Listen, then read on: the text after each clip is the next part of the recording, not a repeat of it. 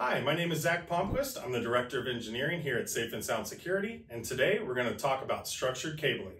What is structured cabling and why is it important to have it in your facility? Structured cabling can also be referred to as network cabling. So basically what it is is the Ethernet and fiber cables that run from your network connection to all of your end devices, whether that be a wireless access point, a computer, piece of machinery.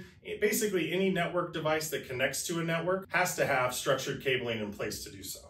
What are some of the common challenges when installing structured cabling in older buildings? Older buildings have a lot of issues when we're trying to run cable. One of those being asbestos, right? A lot of older buildings have asbestos.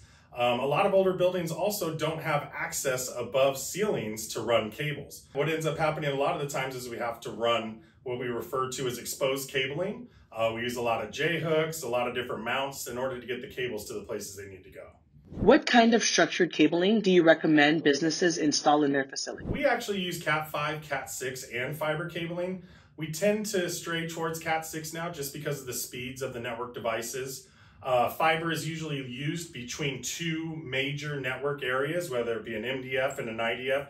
It allows for an extremely fast amount of traffic to be transferred from one area to another.